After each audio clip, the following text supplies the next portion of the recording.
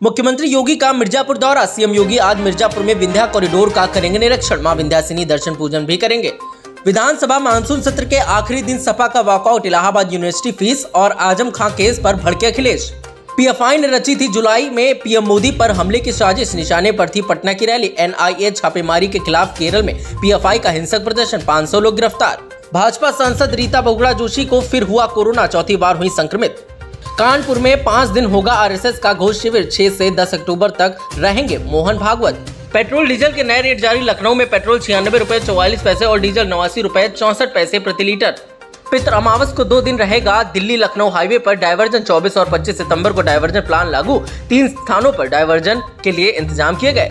UP के तेईस जिलों में लाखों बच्चों का आधार लिंक नहीं, फंसेगा यूनिफॉर्म का रुपया। चार साल बाद यूपी बोर्ड के 403 स्कूलों को हाई स्कूल की नई मान्यता, इंटरमीडिएट एक्ट 1921 में संशोधन। ऑस्ट्रेलिया को हराते ही टीम इंडिया ने कर दी पाकिस्तान की बराबरी। अब जल्द टूटेगा ये वर्ल्ड रिकॉर्ड। डीके की फिनिशिंग रोहित शर्मा का वर्ल्ड रिकॉर्ड। ऑस्ट्रेलिया के खिलाफ दूसरे टी मैच में भारत की जीत दिनेश कार्तिक से पहले बैटिंग करने वाले थे ऋषभ पंत। रोहित शर्मा ने आखिरी मिनट में पलटा फैसला। यूपी में आज भी भारी बारिश के आसार। येलो अलर्ट के बाद कई जिलों में स्कूल बंद। देश विदेश की ताज़ा खबर पाने के लिए हमारे चैनल वी न्यूज़ को सब्सक्राइब करें व बेल आइकॉन दबाना न भूलें।